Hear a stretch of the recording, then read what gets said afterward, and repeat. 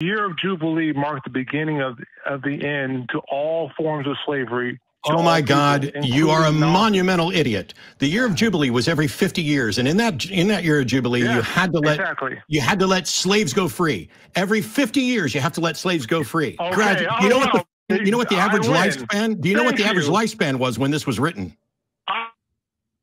You get to be my slave for the next 50 years because unlike anybody else, you just got pwned.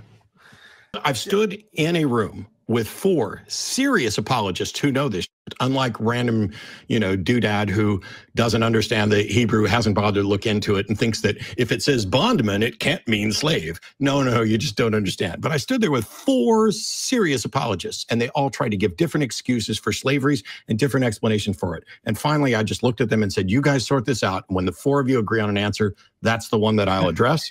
I haven't heard from any of them since.